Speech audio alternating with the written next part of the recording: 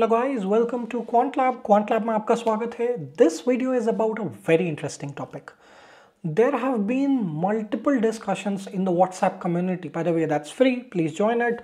The link will be somewhere in the description about RRG, which is relative rotational graph. And the idea is, you know, you try and find sectorial rotations. And a lot of people who are into macro style of investing or who are into trying to find new opportunities areas like what stocks to pick this is a good starting point now all of this is educational i'm not touching that uh, the discussion about you know which sector is good which sector is bad right now we can have a discuss about that uh, have a discussion about that in the you know membership communities and all of that but this video is dumbing down simplifying the sectorial analysis space what is it essentially कोशिश करेंगे बताएं कि sector analysis होता क्या है so when we have a, a market, a stock market or an economy, so different sorts of sectors and sector analysis is basically looking at the evaluation of all of them. So evaluation ka matlab we want to see how they are performing. Are they performing good? Are they performing bad? And much more importantly, what is the future prospect look like? For instance, you know, historically during COVID, IT was down suddenly you know sorry it was up. Suddenly everything wanted everybody wanted digitization all of that. So it had a good boost in the you know 2023 post covid time period. And then that could be a trend or a sector which was growing. Alternatively you can see that you know past one or two year has not you know because of el nino and all of that the weather conditions were not that great so cotton could have taken a hit. So agri businesses could be impacted because of rainfall impact. How do we arrive at this insight? is ab baat karenge but examples bata raha hu ki what does evaluation mean and you know what really is uh, our different sectors. And then you look at the different opportunities and risk. So you have performance. How are they performing? What is a prospect? What is an opportunity? What sort of risk? And this is used by uh, not just in trading community you will also use this to make business decisions and all of that. What is the importance? I think investment decisions sound guarding sound proofing uh, the conversations that we need to have before you start to make an investment. So let's say everybody talks about diversification of stocks. So how do you diversify? Somebody will say gold le lo thoda mutual fund le lo thoda you know real estate le lo thoda i don't know direct etf le lo bond le lo that's one way of uh, you know diversification. But let's say even by mutual fund you somewhere go down the route of you know investing in equity. Now within equity if you look at the different categories that mutual funds have invested you'll find a lot of diversity. So this is where it relates to. Risk mitigation i think uh, diversification by naturally is a way of risk mitigation strategic planning i think businesses leverage it for a lot of expansion and resource allocation. For instance again going back to it example you know there's a lot of work from home culture nowadays uh, post covid some companies are trying to call back and all of that.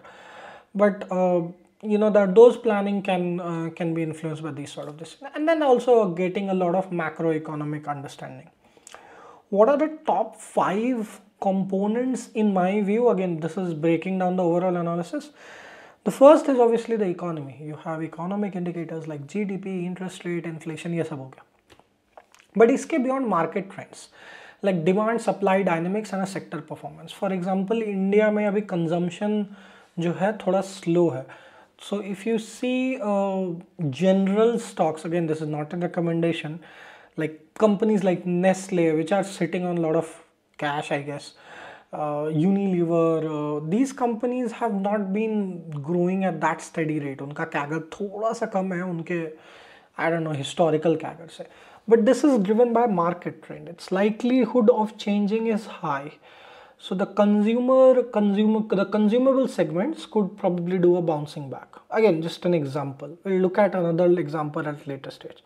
Regulatory, obviously, a lot of जैसे कुछ समय पहले there used to be a very interesting company uh, forgot the name of it. I think it's in gaming industry in Goa, some sort of a casino company. And uh, when I was reading about that regulation, उनको कुछ GST का चक्कर था. So because of regulatory changes like the way GST has been changed or something like that, it impacted them significantly. So in a single day, stock prices probably tanked for like 20, 30 or more than 50%. I, I don't remember the number, uh, but that's what uh, regulatory environment means. obviously competition when you do this kind of analysis you also look at competition. Sometimes two industries are always you know supporting each other or competing with this. And finally technology. Like ai is a big disruptor right now. Types of sectors there's uh, you know multiple different categories of sector. The primary will always be agri mining raw material. They're like a primary sector. Secondary sector would be manufacturing and industrial production tertiary would be you know retail healthcare and finally you'll have knowledge based services information services. So this is uh, you know simple uh, hierarchy if you see in terms of economic sectors. And different sectors will have different sort of cycles different sort of demand patterns coming in. Like if and sometimes you know you can might get into cross as well like manufacturing if you get into automotive manufacturing it might be different versus two wheeler two wheelers in electrical category probably could do good so how do you analyze growth sectors? Look at the demand, look for technology and look for government policies. बहुत simple है ये. जैसे for example renewable energy होगा and we'll take an example for this. Challenges, data.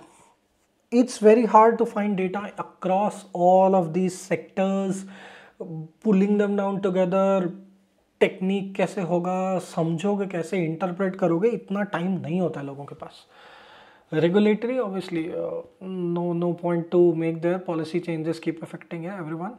Market is volatile. Economic shocks keeps on happening. So this is one factor. I think market sabko reality check karate rata hai. And you know geopolitical reasons also drive a lot of this. Like do world do war chal raha hai world mein you know uh, elections trump uh, moved into us and all of that.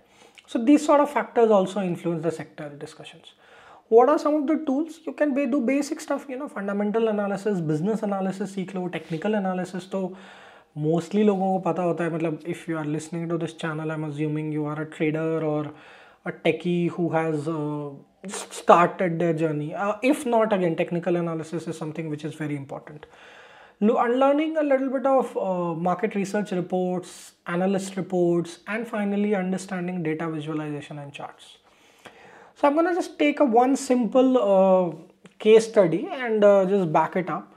So renewable energy is a very safe bet. Uh, now whether this is actually true or not for India is difficult to comment because globally given that Trump is in going to be in power and he's not huge on renewable energy sector and he's more business support this sector might not see a uh, you know, I don't know, favorable cycle in a short term. Like I wouldn't even say short term, I would say probably mid term.